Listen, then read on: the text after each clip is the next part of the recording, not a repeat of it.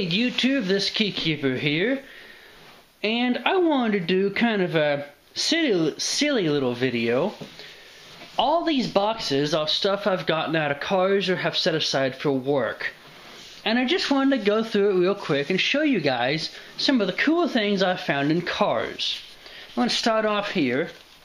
This is from a Chevy Blazer that had a little bull bar on it and I repurposed the bull bar for another Chevy Blazer that I don't own. And these lights work. They bolt on, they've got two wires, so I was thinking I'd put them on my Mercury or my even bigger green piece of junk as some kind of reverse work light or a general purpose utility lamp in the front. So we've got the two lights. They both work like I said. Got some ball caps.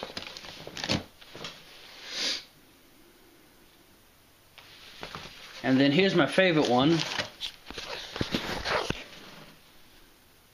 That boss wanted me to wear that one day and I refused.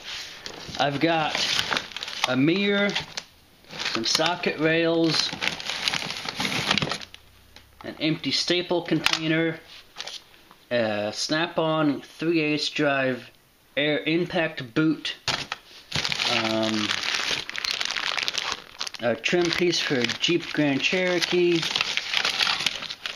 bunny glasses. Oh, what else is in here? More socket rails, a little pocket Bible. A superhero action figure.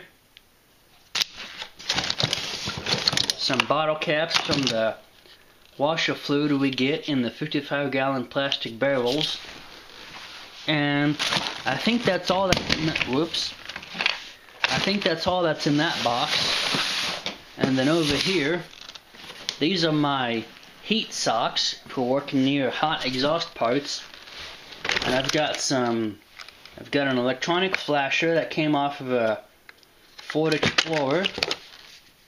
I've got some high-powered hand cleaner, electrical tape, got a bunch of pins,